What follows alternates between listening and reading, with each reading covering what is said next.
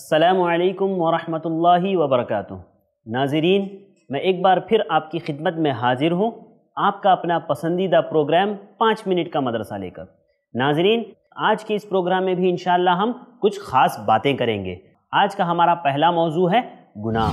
ناظرین، آج ہم ایک ایسے گناہ کے بارے میں بات کریں گے جس کا تعلق میرے آپ کے دیکھنے اور سننے سے ہے۔ اور آج مسلمان اس میں کثرت سے ملوث ہے۔ کثرت سے وہ کام کرتے ہیں، لیکن انہیں یہ نہیں احساس ہوتا کہ یہ گناہ ہے۔ وہ ہے گانا سانگز کا سننا۔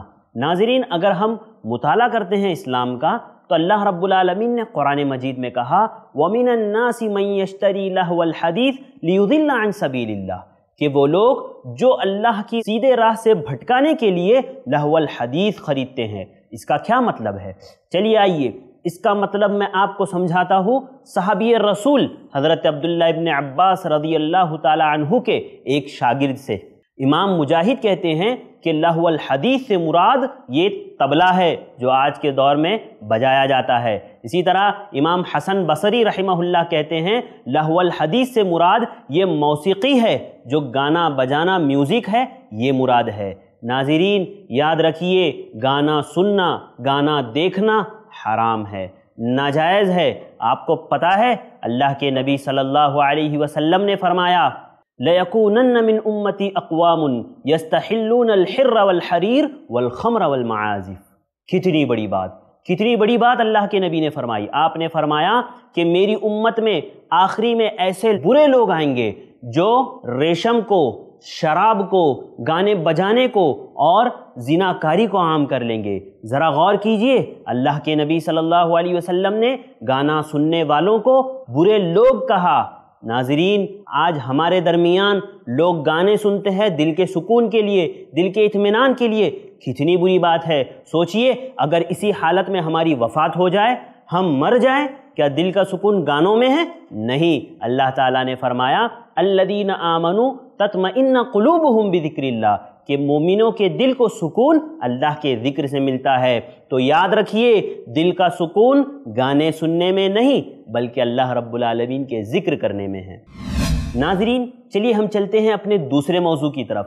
ہمارا آج کا دوسرا موضوع ہے سیرت النبی صلی اللہ علیہ وسلم۔ آج ہم بات کریں گے سیرت میں حلف الفضل کے تعلق سے۔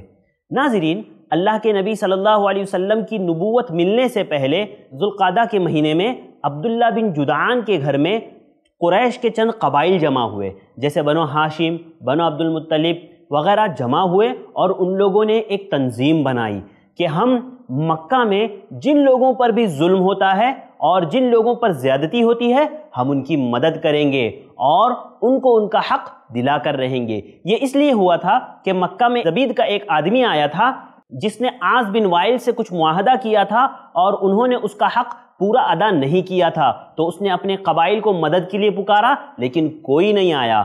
تو ان لوگوں نے ایک کمیٹی بنائی کہ ہم جو ہے مظلوموں کی، غریبوں کی مدد کریں گے، جس میں اللہ کے نبی بھی شریک تھے۔ آپ نے جب نبوت ملنے کے بعد آپ صلی اللہ علیہ وسلم نے فرمایا کہ اگر نبوت ملنے کے بعد بھی مجھے کوئی ایسے معاہدے میں بلائے جو معاہدہ میں نے عبداللہ بن جدعان کے گھر میں کیا تھا، تو میں ضرور اس میں جاؤں گا۔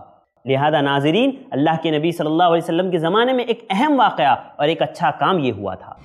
چلیے ہم چلتے ہیں ہمارے اگلے موضوع کی طرف۔ ہمارا اگلا موضوع ہے قیمتی وظیفہ۔ ناظرین، ایک بات یاد رکھیے کہ لوگ آج کے دور میں سوشل میڈیا کے ذریعے سے واٹس اپ، فیس بک پر بہت ساری چیزیں بھیج دیتے ہیں کہ یہ وظیفہ پچاس مرتبہ پڑھیے تو ایسا ہوگا، یہ وظیفہ ایک سو ایک مرتبہ پڑھیے تو ایسا ہوگا۔ یہ ہرگز صحیح نہیں ہے۔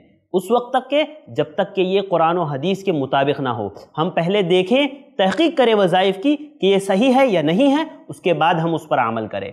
انشاءاللہ آج ہم بات کریں گے ایک اہم وظیفے کے بارے میں۔ اللہ کے نبی صلی اللہ علیہ وسلم نے کفر سے، فقر سے اور عذاب قبر سے بچنے کا ایک وظیفہ بتایا ہے۔ کفر کافر ہونے سے، فقر غریبی سے، آج آدمی پریشان ہے غریبی کی وجہ سے۔ لیکن اللہ کا ذکر نہیں کرتا، اللہ کو یاد نہیں کرتا ہے۔ تو ہمیں چاہیے کہ ہم ایسے اذکار پڑھیں۔ اللہ کے نبی صلی اللہ علیہ وسلم نے سکھایا، پڑھو، اللہم انی اعوذ بکا من الکفر والفقر وعذاب القبر کہ اللہ میں تیری پناہ مانگتا ہوں، کفر سے، غریبی سے اور عذاب قبر سے۔ ناظرین، یہ وظیفہ ہمیں پڑھتے رہنا چاہیے۔ یاد رکھیے، ایسے وظائف کے لیے کوئی وقت خاص نہیں ہوتا۔ زیادہ بہتر ہے آدمی صبح و شام پڑھیں یا کبھی بھی اس کو موقع ملے تو وہ یہ دعا کرتے رہیں۔ اللہم انی اعوذ بک من الکفری والفقری وعذاب القبر۔ ناظرین، انہی باتوں پر میں آپ لوگوں سے رخصت ہوتا ہوں۔